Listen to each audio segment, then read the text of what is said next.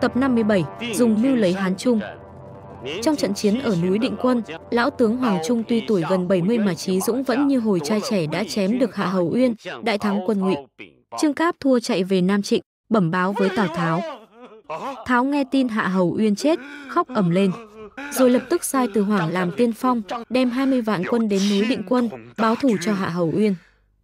Lưu Bị biết tin, họp các quan văn võ lại bàn việc đối phó.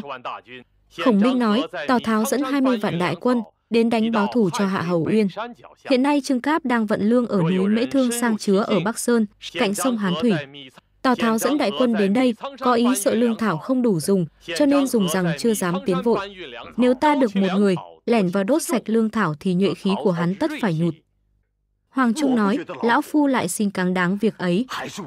Triệu Vân cũng hăng hái xin đi, Khổng Minh cười nói, Hoàng lão tướng quân nên cùng với Triệu Tử Long mỗi người lĩnh một cánh quân đi, phàm việc gì cũng phải bàn với nhau mà làm, xem ai lập được công. Trung và Vân lĩnh lệnh, Khổng Minh sai Trương Chứ làm phó tướng đi theo. Triệu Vân nói với Hoàng Trung rằng, nay Tào Tháo dẫn 20 vạn đại quân, đóng giàn ra 10 trại. Trước mặt chúa công, tướng quân đã tình nguyện đi cướp lương, không phải việc dễ dàng đâu, tướng quân dùng mẹo gì cho được. Trung nói, hãy để tôi đi trước xem sao đã.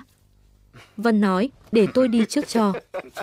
Trung nói, tôi là chủ tướng, ông là phó tướng, sao lại tranh đi trước? Vân nói, hai chúng ta nên rút thăm, ai rút chúng thì đi trước. Vân lấy hòn sỏi cầm ở một trong hai tay, Trung lại đoán chúng, được đi trước. Vân nói, tướng quân đã đi trước, tôi xin giúp đỡ, nên hẹn giờ khác cho đúng. Vân về trại, bảo với bộ tướng là Trương Dực rằng, trại ta ở gần sông Hán Thủy, địa thế nguy hiểm lắm. Nếu ta đi ngươi ở nhà phải giữ cho cẩn thận, chớ có khinh động. Hoàng Trung dẫn quân đi, lẻn qua sông Hán Thủy, đến thẳng dưới núi Bắc Sơn. Tào Tháo biết tin, liền sai Từ Hoàng đến tiếp ứng cho Trương Cáp. Từ Hoàng dẫn quân đến vây chặt Hoàng Trung vào giữa. Lại nói Triệu Vân ở nhà, trông chừng đến giờ ngọ, không thấy Hoàng Trung về, liền dặn Trương Dực rằng, ngươi ở nhà phải giữ trại cho vững, hai bên đầu trại phục sẵn cung nỏ cho nhiều để phòng bị. Nói rồi vội vàng nai nịt lên ngựa, dẫn 3.000 quân đi tiếp ứng. Vân dẫn quân đến thẳng chân núi Bắc Sơn, thấy Trương Cáp, Từ Hoàng đang vây đánh Hoàng Trung, quân sĩ bị vây đã lâu, nguy cấp lắm. Vân hét lên một tiếng, múa thương tế ngựa, đánh thốc vào trong vòng vây, sông sáo như vào chỗ không người. Một ngọn thương của Vân múa, khi lên khi xuống, lấp loáng như cánh hoa lê bay, lộn trước lộn sau, tơi bời như hạt mưa tuyết tỏa. Từ hoảng, Trương Cáp rụng rời mất vía, không dám ra địch. Vân cứu được Hoàng Trung, vừa đánh vừa chạy, đi đến đâu quân giặc giạt ra đến ấy. Tào Tháo ở trên núi cao trông thấy, nói, anh hùng ở đương dương trường bản khi trước hãy còn đó. Triệu Vân cứu được Hoàng Trung ra khỏi trùng vây, liền đánh luôn sang mé đông nam để cứu Trương Chứ, sai lính đưa Hoàng Trung về trại trước, Trương Dực ra đón vào. Tào Tháo thấy Triệu Vân sông sáo ngược xuôi, đi đến đâu giạt ra đến đấy, cứu được cả Hoàng Trung lẫn Trương Chứ, bỗng nổi giận đùng đùng, lập tức dẫn quân đuổi theo thì Triệu Vân đã về đến trại rồi. Trương Dực ra đón, trông thấy mé sau bụi bay mù mịt, biết là quân Tào đuổi theo. Vân quát rằng, không được đóng cửa trại. Ngươi không biết khi trước ta đánh nhau ở trận đương dương trường bản đó à? Ta chỉ một thương một ngựa, coi 80 vạn quân Tào như cỏ rác. Nay ta có tướng lại có quân, còn sợ gì nữa? Bèn sai các tay cung nỏ, phục cả hai bên hào sâu ngoài trại, ngả cờ im trống. Vân thì cưỡi ngựa cầm thương, một mình đứng ngoài cửa trại. Trương Cáp, từ Hoàng mang quân đuổi đến trại thục, lúc ấy đã về chiều. Hai tướng thấy trong trại ngả cờ im trống, quân sĩ vắng teo, chỉ có Triệu Vân một ngựa, một thương đứng trước cửa trại mở toang. Hai tướng không dám tiến lên, còn đang lưỡng lự thì Tào Tháo cũng dẫn quân vừa đến, thấy Vân vẫn đứng nghiễm nhiên không động đậy chút nào. Tào Tháo còn đang nghi hoặc thì thấy Vân cầm thương vẫy một cái, cung nỏ hai bên bắn ra như mưa. Trời thì đã mờ mờ tối, lại không biết quân thục nhiều hay ít, Tào Tháo bèn quay đầu ngựa chạy trước.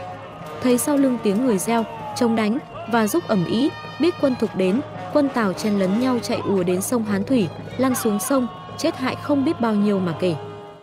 Triệu Vân chiếm được trại Tào, Hoàng Trung cướp được hết lương thảo sông Hán Thủy. Lưu bị mừng lắm, gọi là Tử Long là hổ oai tướng quân. Chợt có tin lại báo rằng Tào Tháo sai đại quân từ con đường nhỏ hang Tà Cốc tiến đến cướp lại Hán Thủy. Khổng Minh cười nói rằng chuyến này Tào Tháo đến đây cũng chẳng làm trò gì, ta chắc phe này lấy xong Hán Trung. Tào Tháo đã mất lợi thế sau trận chiến ở núi Bắc Sơn, bèn dẫn quân đến lấy Hán Thủy. Tiên Phong từ Hoàng không nghe theo lời can ngăn của Phó Tiên Phong Vương Bình, cứ cho quân vượt sông sang bờ phía tây bày trận, quay lưng ra sông. Rốt cuộc đã bị các tướng thục là Hoàng Trung và Triệu Vân đánh bại, đành quay lại bờ phía đông hạ trại và đối mặt với quân thục qua con sông. Lưu Bị và Khổng Minh lại xem địa thế. Khổng Minh thấy mé trên sông có một dãy núi đất có thể mai phục hàng ngàn quân, bèn bảo Triệu Vân rằng ngươi nên lĩnh 500 quân phục ở chân núi. Bất kỳ nửa đêm hoặc chiều tối, hễ nghe thấy trong trại ta bật đèn hiệu lúc nào thì cho quân đánh trống, giúp tù và lên lúc ấy, nhưng không cần ra đánh. Triệu Vân lĩnh kế đi ngay. Canh khuya đêm hôm ấy, Khổng Minh thấy đèn lửa trong trại tàu đã tắt, quân sĩ đi nghỉ cả rồi, liền ra một hiệu lệnh. Tử Long xem thấy, bèn sai quân sĩ đánh trống, giúp tù và ẩm ý cả lên. Quân Tào kinh hoàng, tưởng là giặc đến cướp trại, chạy ra xem thì không thấy một người nào nhưng vừa trở vào định ngủ thì tiếng pháo lại nổ, tù và, chống đánh ẩm ý, tiếng reo vang động cả hang núi. Quân Tào thức suốt đêm không dám ngủ, luôn ba hôm cũng như thế, Tào Tháo hoảng sợ, nhổ trại rút lui 30 dặm, tìm chỗ rộng rãi đóng doanh trại. Gia Cát Lượng dùng kế nghi binh làm Tào Tháo phải rút lui khỏi bờ Đông Hán Thủy, đồng thời sai Triệu Vân, Hoàng Trung thừa thắng đem quân vượt sông truy kích. Tào Tháo muốn trở về Nam Trịnh, nhưng không ngờ Trương Phi, Ngụy Diên đã thừa cơ đánh chiếm mất rồi. Tào Tháo đành dẫn mười mấy vạn binh mã rút về ải Dương Bình, đồng thời sai hứa trừ vận chuyển lương thực tiếp ứng toàn quân. Đêm đó, hứa trừ uống rượu say, bị Trương Phi dẫn binh phục kích. Đánh chưa được vài hiệp bị Phi đâm một nhát mâu trúng vào vai, hứa trừ tới gặp Tào Tháo xin nhận tội. Tháo không trách mắng gì cả, nói hứa trừ về điều trị, rồi tự dẫn binh đến quyết chiến với quân thục. Nguyên Tào Tháo sợ khi ngủ có người mưu hại, thường dặn bảo lính hầu rằng ta trong khi ngủ mê hay giết người. Những lúc ta ngủ say, chúng bây chớ đứng gần mà có khi khốn. Một hôm, Tháo ngủ ngay trong trướng, để rơi chăn xuống đất, một tên hầu cận vội vàng nhặt chăn đắp lại cho Tháo. Tháo đứng phát dậy, rút gươm chém phăng tên lính hầu ấy, rồi lại lên giường ngủ. Đến sáng, Tư Hoảng và quan hành quân chủ bộ Dương Tu đến. Tháo thức dậy, giả đò giật mình hỏi rằng ai giết thằng đầy tớ của ta thế này. Ai cũng tưởng là Tháo ngủ mê, chỉ có Dương Tu biết ý. Tháo thương khóc, rồi cho làm ma chay chú đáo. Tào Tháo đóng giữ ở cửa hang Tà Cốc lâu ngày, muốn tiến quân lại bị Mã Siêu chống cự hang lắm, muốn rút quân về thì lại sợ người thục chê cười, trong bụng dùng rằng chưa quyết bề nào. Một bữa, người nhà bếp dâng bát canh gà, Tháo nhìn trong bát có cái gân gà, sực nhớ đến chuyện mình, lại ngán cả ruột. Giữa lúc ấy, Hạ Hầu Đôn vào trướng, bẩm hỏi khẩu lệnh ban đêm, Tháo buột miệng nói ngay rằng, kê cân. Đôn truyền cho quan quân đều nhận khẩu lệnh đêm ấy là kê cân. Dương Tu thấy truyền hai chữ kê cân, liền cho quân mình thu xếp đồ hành trang để trở về.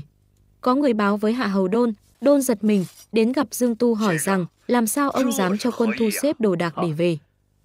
Tu đáp, cứ xem ngay hai chữ khẩu lệnh đêm hôm nay thì chắc rằng ngụy Vương mấy bữa nữa cũng về thôi. Kê cân nghĩa là gân gà, gân gà ăn thì không có vị gì, mà bỏ thì tiếc.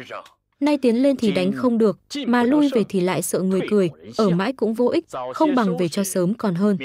Vài hôm nữa, Ngụy Vương tất rút quân, nên tôi cho quân thu xếp sẵn, kẻo đến bấy giờ lại lật đật. Hạ Hầu Đôn nói, ông thực biết đến tận gan ruột Ngụy Vương.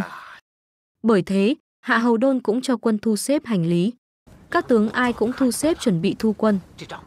Đêm hôm ấy, Tào Tháo trong bụng bồn chồn, không sao ngủ được, mới cầm một cái búa gang, lẻn ra ngoài đi xem các trại, thấy quân sĩ trong trại Hạ Hầu Đôn đang thu xếp sắm sửa đồ đạc. Tháo giật mình, vội về trướng, cho đòi Hạ Hầu Đôn hỏi đầu đuôi ra sao. Đôn bẩm, chủ bộ là Dương Đức Tổ biết ý đại vương muốn rút về. Tháo gọi hỏi Dương Tu, Tu giảng rõ ý hai chữ gân gà. Tháo nổi giận nói rằng, ngươi sao dám dựng đứng nói cản, làm náo động cả quân sĩ của ta. Nguyên Tào Tháo vốn đã có ý muốn giết Dương Tu, nay nhân thể đổ cho tội náo loạn bụng quân, liền quát quân đao phủ mang Dương Tu ra chém, rồi bêu đầu hiệu lệnh trước cửa quân. Năm đó Dương Tu mới 31 tuổi. Tháo giết Dương Tu rồi, giả đò giận dữ, muốn giết cả Hạ Hầu Đôn. Các quan xin cho Đôn được khỏi tội. Tháo quát đuổi Hạ Hầu Đôn ra, rồi truyền lệnh tiến quân. Hôm sau, quân hai bên hội nhau ở chỗ ngã năm trước núi ngũ giới, gian thành thế trận. Tháo cưỡi ngựa đứng dưới cửa cờ, hai bên cắm hàng cờ long phượng. Tháo trỏ roi mắng lớn rằng, Lưu Bị, ngươi là thằng quên ơn trái nghĩa, phản nghịch triều đình. Lưu Bị mắng giả lại rằng, ta là tôn thân nhà Hán, phụng chiếu đánh giặc. Ngươi giết mẫu hậu, tự lập làm vương, Tiếm dùng đồ loan giá của thiên tử, thế không phải phản nghịch là gì. Tháo giận lắm, sai từ hoảng ra đánh. Bên kia Lưu Phong ra địch.